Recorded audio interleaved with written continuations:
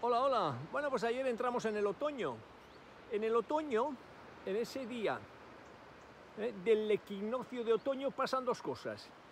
La primera, que el día tiene 12 horas, igual que la noche. Por eso X de igual eh, noche que día. Pasa también otra cosa, que el sol sale justo, justo por el este y se pone por el oeste. Bueno, y por aquí ha salido el sol. Pues magnífico día.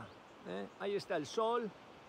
Por ahí tenemos Guetaria, cuna de nuestro ilustre navegante Juan Sebastián Elcano, eh, Donosti.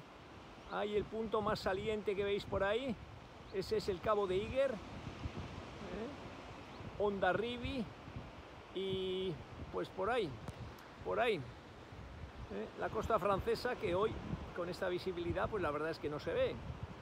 Pues tenemos este magnífico sol por el este, claros más hacia el nordeste y aquí casi por el norte cúmulos y cumbres borrascosas.